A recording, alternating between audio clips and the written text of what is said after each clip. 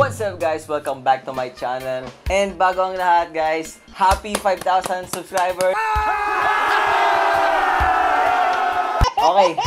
As you can see guys, Tokyo Treat. Okay. Thank you Tokyo Treat sa pag-sponsor ng ating content today. Um, galing pa siyang Japan actually guys. Maraming maraming salamat. And yun, sobrang excited ko ng buksan to guys dahil itong box na to is meron siyang actually apat ang laman niya guys. May candy, chips, chocolate, and snacks, okay? So, thank you so much Tokyo Treats ulit.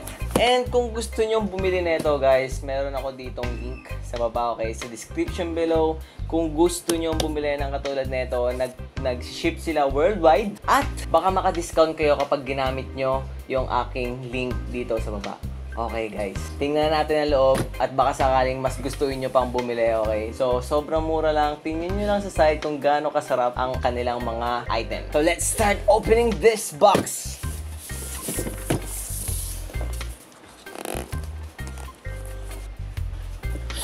Kaya lang, ang hirap buksan. Kung wala akong gunting. And we're back! Hop! Oh! Oh! Did you see that?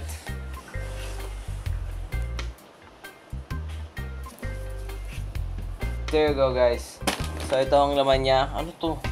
Tokyo Treat Magazine. Okay, so ito yung kanilang mga items.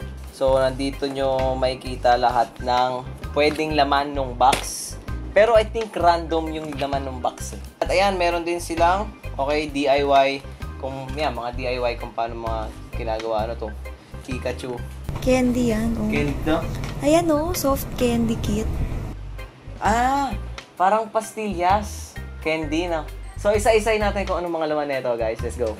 Okay, guys. So, eto na ang laman. Okay, first is meron tayong Calbee.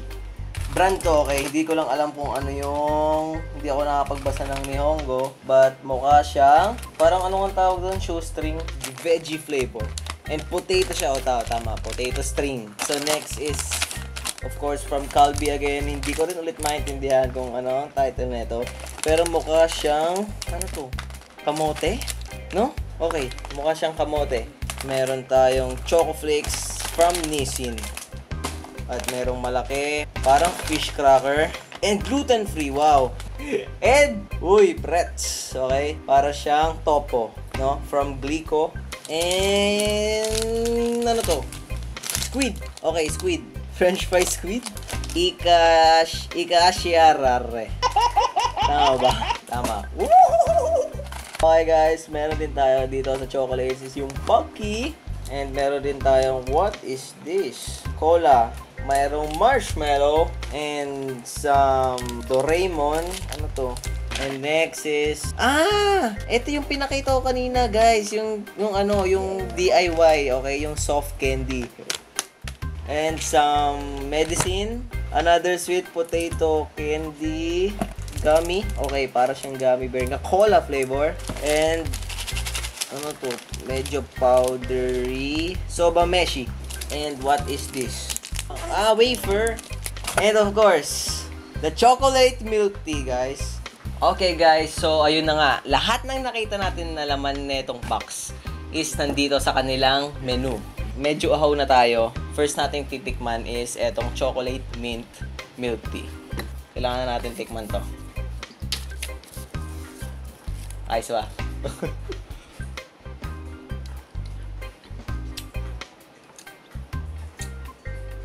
hmm.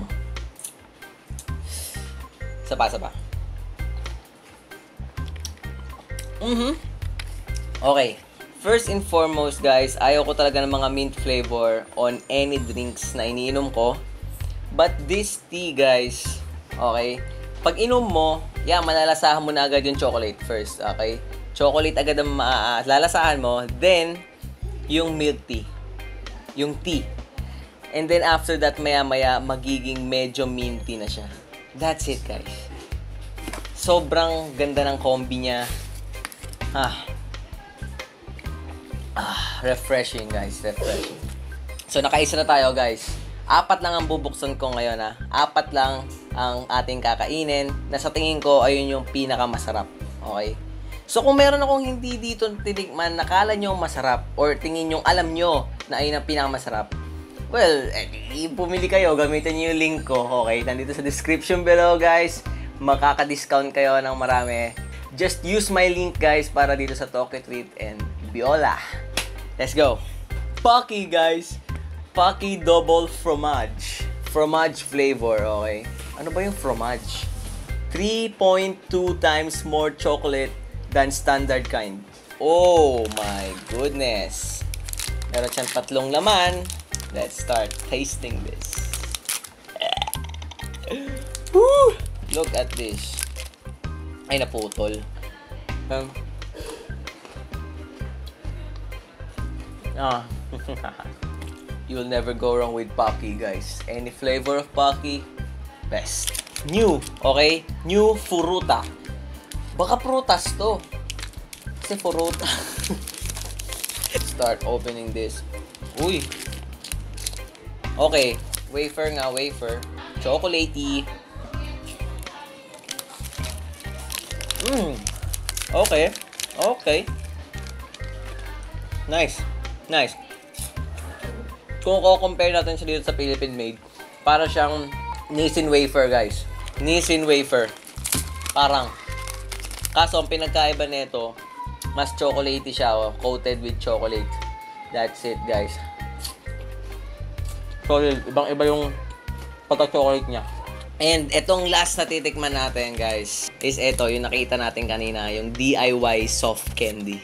DIY Sun and Moon Pokemon Soft Candy Kit. So first, using the pictures, okay, so parang ilalagay natin siya, imo-mold natin siya doon, and then, filling the same character, or okay, on the second tray. Ah, okay. So, parang ipag, pagdidikitin natin siyang gano'n. Okay. Basic, guys. Okay, so let's start, guys, i-mold itong candy na to. Oh, yan, ganyan lang. Very basic. Siguro nga, naparami pa yung lagay natin eh. Very easy, guys. Very easy. Next, kabila. So, para lang tayo naglalaro ng, ano, clay-clay. Yan. Oh, and this is the sun. Lagay natin yan. Didiin din natin yan dyan siya. Yan, ganyan lang yan, guys. Sobrang dali lang. Para lang tayong, ano dito, grade school. Amoy ano? Alam ko nakakain na ako nito eh. Ah, frutos, guys. That's it para siyang frutos. Tama. Para siyang frutos kung i-compare natin sa Philippine made. Pero siguro sa lasa lang yung nagkakatalo yung mga yan. So, ito yung unang stick. At yung pangalawang stick. So, after na yan guys, ito. Pagkakabit na natin dito. Okay, wish me luck. wish me luck guys. Tapos after nun, yan, kailangan pagdidiinin nyo sila, yan ganyan. Yan. Yan, okay? So, pag badiin na badiin na yan, kita nyo na yan, ganyan. Tapos, try na natin paghiwalayin. Oh! Oh, kita nyo naman yan guys. So, masyadong mababa yung paglagay natin ng stick. But, look at this Pikachu guys. Hmm, oh, ito yung buntot nila. Yee! Ah, mm. medyo maasim siya na biglang sumasarap na hindi ko alam kung ano yung lasa na yun eh. You know? Kasi, manamis-namis na maasim. Kaya, mmm, sarap. Okay?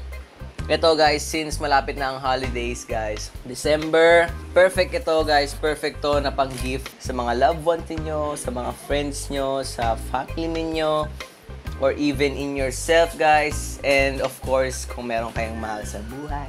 Perfect tong gift para sa kanila, guys. Okay?